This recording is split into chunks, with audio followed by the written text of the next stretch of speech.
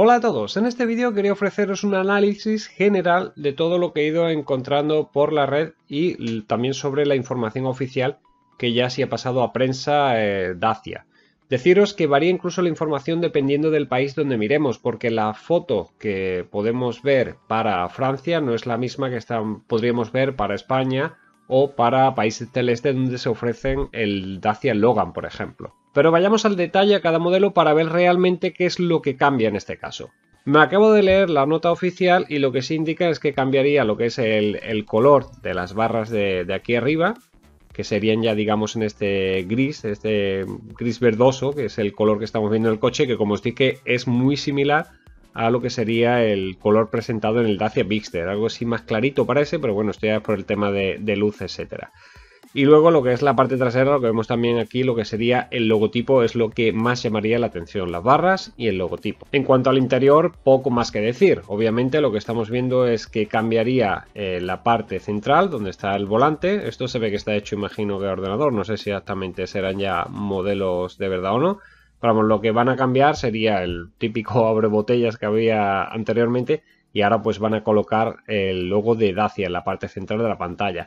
Y otra cosa que también os indiqué el vídeo anterior, eh, lo que sería el Nav, el Media Control, etcétera, etcétera, pues cambiaré un poquito lo que es la interfaz y llevaría pues estos colores verdes, este verde kaki digamos, que es el que están eh, ofreciendo ahora más con Dacia, que indican pues que mm, simboliza el musgo, simboliza la naturaleza y la unión con la marca. En la parte delantera vemos claramente en el Duster lo que más varía y lo que se ve a primera simple vista eh, aquí solamente es la calandra, la calandra, donde si nos vamos ya acercándonos al detalle vemos que más o menos se respeta lo que es la parte inferior y lo que varía más que nada son estos dobles líneas en la parte aquí que mm, hacen digamos están en paralelo con las mismas líneas de las luz diurnas y luego pues en medio llevaría el nuevo símbolo de la marca Dacia, el nuevo logo.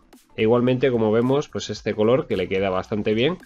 Es un color así gris verdoso o así. Ahora os digo los nombres oficiales que vienen también eh, escritos en el comunicado. Y lo mismo, en las barras vemos también que cambia el color y también tomaría esa tonalidad verdosa. Igualmente también se aprecia lo que sería el paragolpes o aquí también el retrovisores. Pues ya no es ese gris, sino es un gris verdoso que hace ya eh, juego, digamos, va juego con el resto de la, carrocería. Pasamos al siguiente modelo, que sería el Dacia Jogger Extreme. Y básicamente, pues lo que vemos en las llantas, lo que sería el logo que cambia también. E igualmente las líneas, que ahora la veremos más detenidamente, pues son similares a las del, a las del Duster también y poco más que añadir. En este caso estamos viendo, no sé si el, retrovisor aquí se ve en color negro, que va a juego con las llantas y todo esto.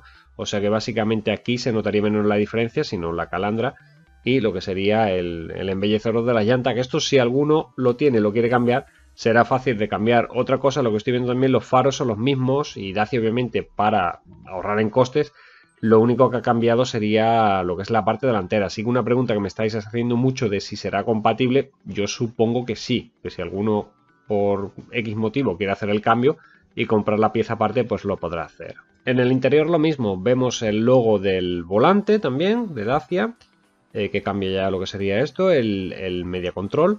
Y algo que aparece también aquí, que lo que serían los, las manivelas, digamos, las manillas para abrir la puerta, igualmente lleva esta textura, como veis, así es en este tono grisáceo, verdoso o así, que es lo que parece que es lo que decían también, que los mismos detalles de interiores, algunos cambiarán de color, pues en este caso imagino que es a lo que se refiere.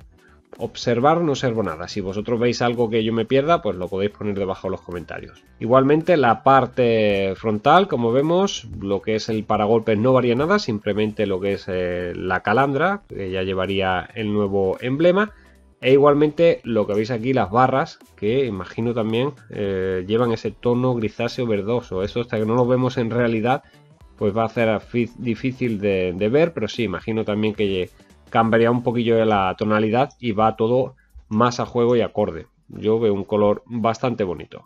Nos vamos al Dacia Logan, que por ejemplo en Francia pues no, ha dado, no han dado información de ello. He tenido que ir a la, página internacional para ver lo que serían los emblemas y todo esto. Y igualmente, lo que varía básicamente es la, calandra delantera. Lo vemos aquí también las llantas, que estos son llantas, no son tapacubos. También llevan ya, digamos, el, tapón central con el símbolo de, Dacia. Y básicamente es lo que cambiaría en el Logan, porque los retrovisores van el color de la carrocería, así que lo único que cambiaría también serían las letras en la parte trasera, que son las mismas que llevaría el Dacia Jogger actualmente, por ejemplo. Dacia Sandero Stepway. Como estáis viendo aquí, lo que varía ya pues, a la primera vista es la, parte trasera, las letras que estamos viendo aquí. Además, eh, se aprecia que estarían en relieve, o sea, no sería la pegatina que estaban poniendo actualmente al Dacia Jogger, sino que aquí estoy viendo ya que si realmente las letras serían el emblema en relieve. Y estéticamente, lo único, lo dicho, las barras también se ven que ya van en ese tono grisáceo. Veo que sería el motivo principal también por el cual ya no están poniendo las letras Stepway en cromado, sino que mm, iría todo oscuro para ir más acorde al, resto de la carrocería y las barras, eso sí, por lo dicho, no irían tampoco ya en el tono cromado, sino que llevarían ese tono verdoso grisáceo. Aparte también parece aquí, si vemos lo que sería la parte baja, no estoy seguro, pero me jugaría también que quizás lleva también ese tono verdoso que estaría aplicando en el resto de detalles. La parte delantera, como veis, lo que más llama la atención pues sería la, calandra, la parte central, pero lo que es el resto de faros y todo es el mismo. Así que lo dicho, imagino que esto será compatible con, el modelo anterior, únicamente varían algunos detalles y aquí vemos que no sé si parece que escribe algunas letras o algo, pero no, no se puede apreciar ni, ni, ver exactamente lo que sería el, el símbolo, ya digo, aquí está todo exactamente igual y las barras lo que vemos lo mismo. Los retrovisores igualmente, aquí vemos también los detalles, eh, imagino también que tendrán ese gris verdoso aplicado, como en el resto de, detalles de la carrocería, lo cual pues eh, para que vaya todo a juego básicamente. En cuanto al Dacia Berlina, lo mismo, lo que se le aplica al Dacia Sandero Stepway no llevaría aquí abajo lo que sería la, diferencia con el otro modelo, si vemos anteriormente lleva las letras de Stepway, en el caso del Sandero Berlina o Sandero normal, como le llaman muchos, pues no llevaría esa parte, pero mm, veo bastante resultante la, aplicación que le han hecho, porque con este saliente aquí también le da un toque distinto y, queda también bastante bien. El resto igual, los retrovisores en este caso van del mismo color de la carrocería, como tiene barras, lo único que variaría también sería el tapón de, de de las llantas, el tapón central. Vamos al pequeñín, al eléctrico de la marca, el Dacia Spring. Igualmente, lo que más varía, y esto lo vimos ayer en el boceto que, mostraron, las letras que irían, como estamos viendo aquí, imagino, en relieve. Eh, lo que sería aquí también, imagino, cambiar un poquillo los detalles de las pegatinas, que vi también que actualmente pues, no se estaba ofreciendo esto en la página web, pues vendrá ahora mismo este color oscuro. El buje, digamos, todo esto de la tapa de, lo de las llantas central también vendría con el nuevo logo y poquito más, algún que otro detalle y el color, eso sí, como en todos los modelos, este nuevo color que estaría disponible para toda la gama Dacia, exceptuando el Dacia Sandero Berlina. El interior del Stepway, como veis, varía bastante poco, lo único que se aprecia más que nada es el logo, no sé si los botones también cambian o no, porque aquí como estamos viendo no se aprecia exactamente bien en la imagen, se llevaría alguna que otra tonalidad o algo. Y lo que es también el, interfaz del Media el Media Display, pues igualmente le aplicarán los nuevos colores. En los tiradores vemos que se mantendría el cromado, aquí sí que no habría ese cambio de tonalidad de interior, con lo cual es lo único que estamos viendo aquí que difiera del modelo anterior. En la parte frontal lo mismo, lo que vemos ya es que varía completamente el logo, incluso veo la aplicación del logo anterior que daba exactamente cómo se abría la tapadera para poder recargar. En este caso ya no se queda igual, me, gustaría, me gustaba más incluso si os digo la verdad eh, la opción anterior para el caso del, del Dacia Spring y nada, pues es lo que varía básicamente. El resto, como vemos aquí, esta imitación así, no sé, como textura de carbono o así lo que, lo que están ofreciendo en los colores. El detallito de las barras lo dicho, que ahora llevaría ese, color verdoso. No sé si exactamente será únicamente para este color eh, que vaya a juego o irá para toda la gama. De eso no he visto nada. Y luego lo que sería lo mismo, las tapaderas centrales llevarían el nuevo logo.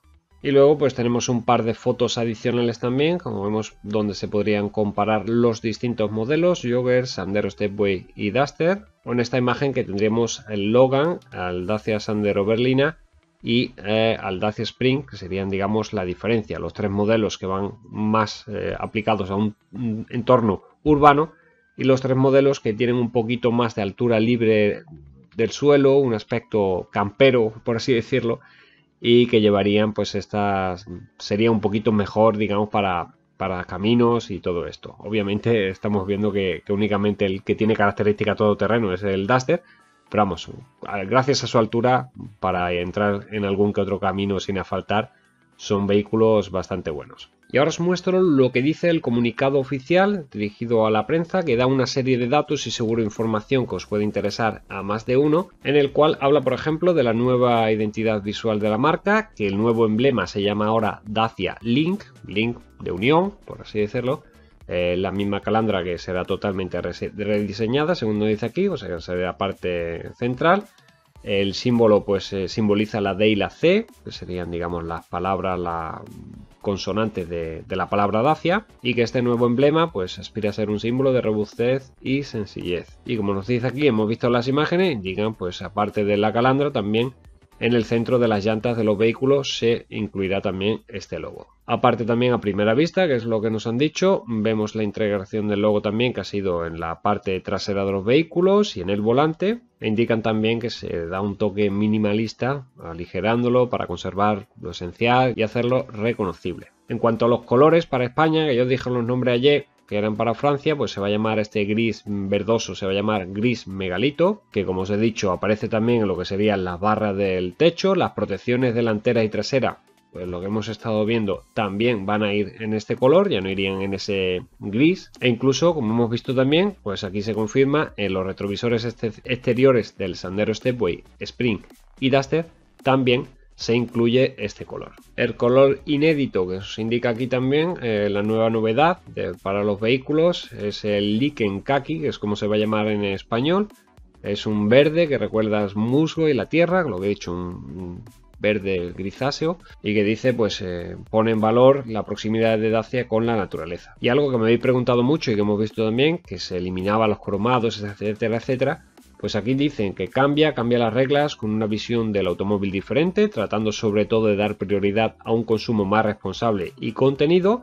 Esto se va a traducir en el progresivo abandono del uso de algunos materiales como elementos de origen de decoración cromados o falsos aluminios, pero también en el caso de, hace unos años cualquier cuero de origen animal. Y es una cosa que indica algunas veces en, en la página de Dacia de España incluso, que pone volante de cuero así, y no lo es. Eh, vamos, Dacia en ese aspecto, digamos, ofrece materiales actualmente veganos y lo que es eh, cuero sintético. Otra información que fue confirmada por Renault hace tiempo eh, es que el grupo Renault va a indicar, igual que el resto de marcas, que hay algunas que lo están implementando, creo como Volvo y esto, van a aplicar la velocidad máxima de 180 km por hora y esto se llevará a cabo a partir de 2023, el cual el 100% de sus vehículos, Dacia sería la primera marca del grupo Renault que tenga ese límite en sus vehículos. De todas formas, esto no varía mucho. Bueno, los vehículos de Dacia actuales, 185, 187 km por hora es el máximo,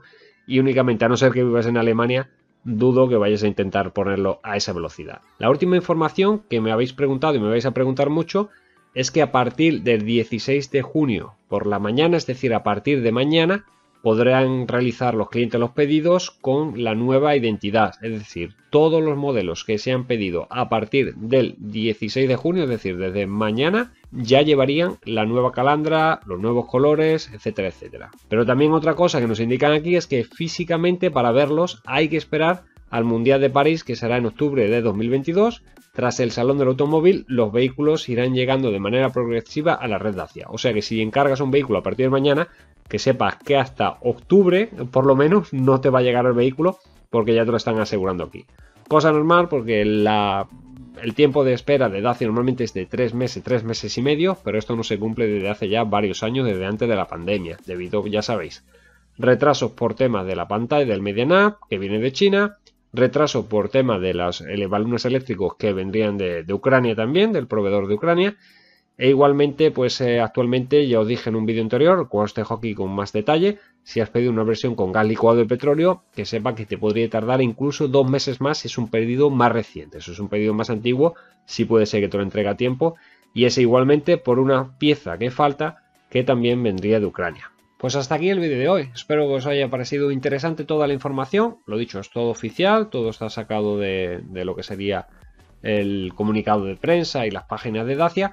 Y si tenéis alguna duda o consulta, como siempre, me lo podéis dejar escrito debajo en los comentarios. Una pregunta que tengo para ti, ¿qué te parece este nuevo color kaki, verdoso, grisáceo, que me gusta bastante, sobre todo para, para el Duster, lo veo un color bastante bonito, para otros modelos quizás no tanto.